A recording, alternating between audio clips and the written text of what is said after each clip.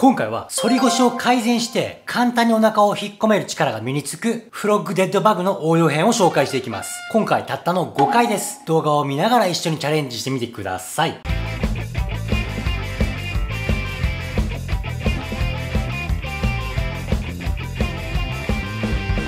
はい、皆さんこんにちは、タートルです。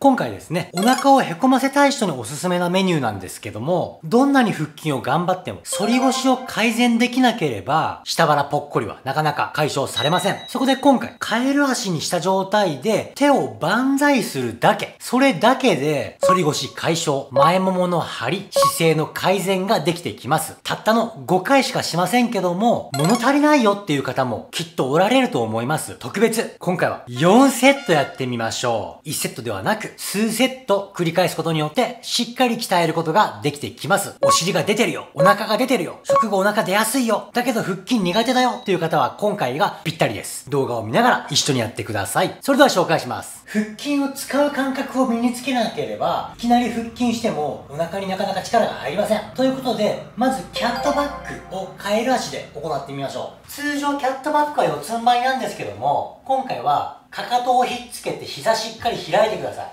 そうすることで、自然と反り腰の状態ができてしまいます。この反り腰の状態を背中をまっすぐにするイメージで、お腹を引っ込めてください。これをまず20秒間動画を見ながらお腹を引っ込めてください。それではいきます。スタート。グッと。お尻を締めながら背中と腰お尻までまっすぐにする感じです。しっかりお腹を引っ込めて腹筋を使います。はい OK です。今の腹筋を使う腰をまっすぐにさせるっていうイメージを忘れないように今からのフロッグデッドバグをやってください。まず寝た状態でクランチを作ります。膝90ここから足が離れないように膝だけパカッと開いてください。この時に腰が床につく感覚が大切です。膝を開いても腰に隙間ができているとお腹が伸びてしまっているので腹筋の際にお腹が縮みにくくなってしまいます。少し縮んだ状態からさらに縮めるっていう方が初級者、中級者の方は簡単に行います。上級者の方は腰に隙間があってもお腹縮める力が強いのであまり問題ないんですけども、腹筋まだ弱い方はいきなりグッと力が入らないので、まず少し力が入った状態を作ってから、そっからさらに縮めるっていう方が腹筋を使いやすいです。まず膝を開いて、さっきの腰を丸める感覚で腰の隙間を埋めてみてください。あまり足が前に出ると隙間が空きやすいので、ちょっと近づけ目にしてもらって腰を床につけます。ここから状態をグッと起こしてここから万歳をします。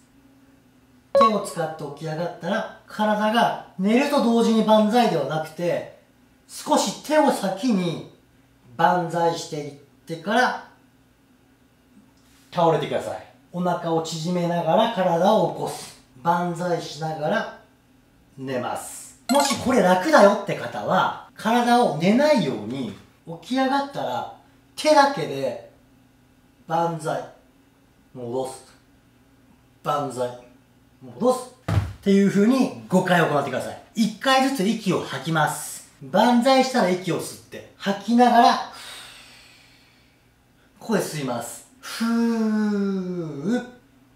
といった感じで5呼吸です。どちらか好きな方をやってください。さらに楽だよって方は足少し前に出してもいいです。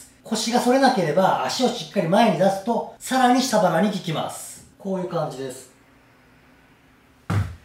それでは5回頑張っていきましょう。いきます。スタート。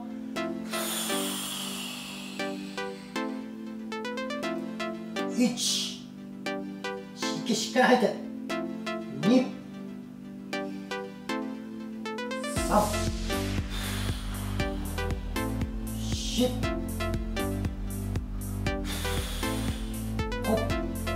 OK! さあ、残り3セット、頑張っていきましょう。息は止めない方がいいです。しっかり息を吐くことで、お腹をへこませる腹横筋がつきます。それでは、いきます。スタート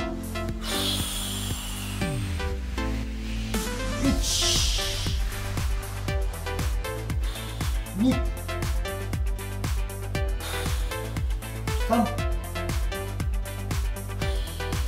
4ラスト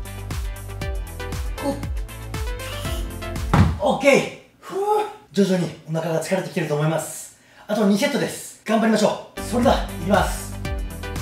スタート。1頑張って。2 3 1シュッ。5オッケー。あさあラスト。やりたくないと思いますが頑張りましょう。しっかり明日は休んでもいいです。いきます。スタート。1頑張って。2 3 10